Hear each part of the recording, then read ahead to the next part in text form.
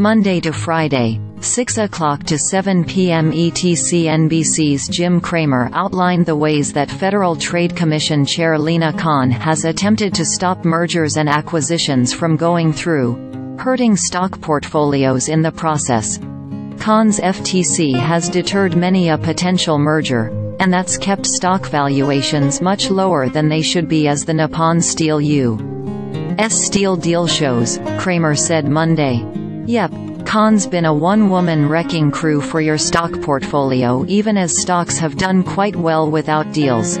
One example Cramer singled out was the premium that Nippon Steel is paying for U.S. Steel, which is a deal that the two parties agreed to Monday. The buyer is offering a price of $55 per share for U.S. Steel, which closed at $39 on Friday. That suggests that Wall Street is undervaluing the price of U.S. steel, Cramer said.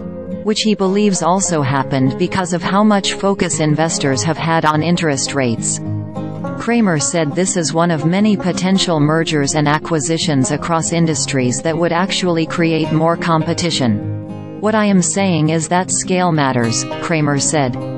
If you don't allow smaller companies to gain scale by, say, letting Walgreens buy Rite Aid, we end up with a weak Walgreens, and a bankrupt Rite Aid, a dominant Amazon that gobbles up the whole category. Yet no one ever talks about that.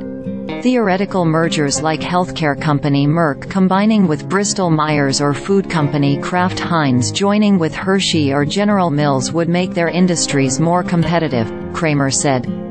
Khan and the FTC recently attempted to block Microsoft's acquisition of Activision Blizzard as well as Amgen's acquisition of Horizon Therapeutics. The deep-pocketed legal teams of both companies allowed them to prevail through the red tape, which Cramer says has had the reverse of Khan's intended effect.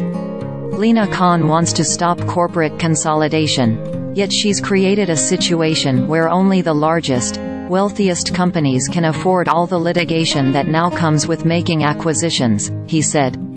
One area Cramer is not in favor of more consolidation as airlines, which he said have happened too much and have been negative for consumers. Click here to download Jim Cramer's Guide to Investing at no cost to help you build long-term wealth and invest smarter. Sign up now for the CNBC Investing Club to follow Jim Cramer's every move in the market.